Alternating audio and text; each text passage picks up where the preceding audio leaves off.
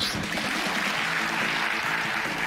Это была рубрика «Спросите доктора». Я надеюсь, что я ответил на все ваши вопросы. Так что всем желаю здоровья и удачи.